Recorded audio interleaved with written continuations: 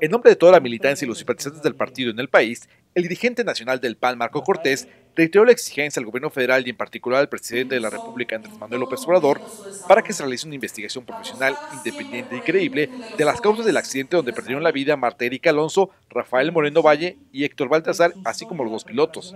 Prendamos nuestra exigencia al gobierno federal y en especial al presidente López Obrador para que se realice una investigación profesional, independiente y creíble de qué fue lo que pasó.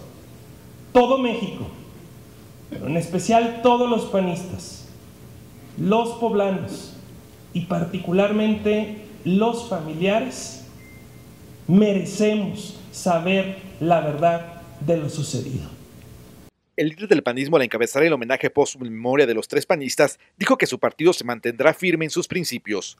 Con imágenes de Leo Casas, información de Carlos Cordero, Agencia Cuadratín, México.